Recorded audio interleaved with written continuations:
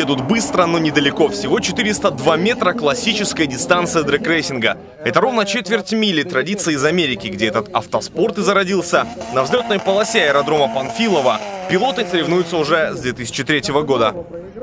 Рекорд России по дрэгрейсингу за 16 год поставлен 6,3 секунды. А вот э, наши местные как-то приближаются к этому рекорду. У нас э, местный рекорд этой трассы 9003, 10 тысячный.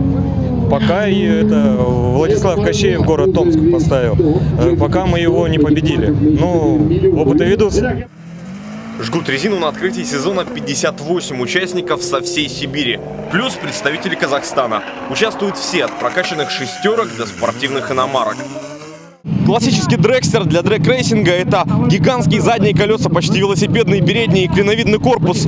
То есть проедешь те самые заветные четверть миль и назад в гараж. Конечно, в Барнауле такую роскошь мало кто себе может позволить, но даже то, что есть, максимально прокачивают.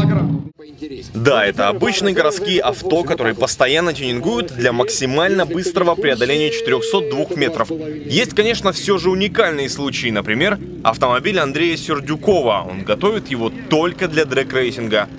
Эта машина даже не имеет права передвигаться по дорогам общего пользования, она имеет спортпаспорт, то есть, естественно, все перемещения только на эвакуаторах, автовозах. Машина эта уже на автовозе каталась даже город Грозный э, на этапе чемпионата России в прошлом году. Такой почти самолет, конечно, не соперник отечественным почти дрекстерам. Автомобили тут делятся по группам, поэтому, как говорят организаторы, это борьба не кошельков, а реакции пилота. Еще на старте. Андрей Дрир, Александр Антропов. День с толком.